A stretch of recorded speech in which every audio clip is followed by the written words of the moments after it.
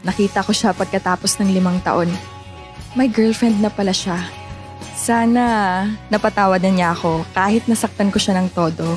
Pero kahit hindi man kami nag-work, I'm still grateful that he's finally happy kahit wala na ako sa kanyang tabi. Hi!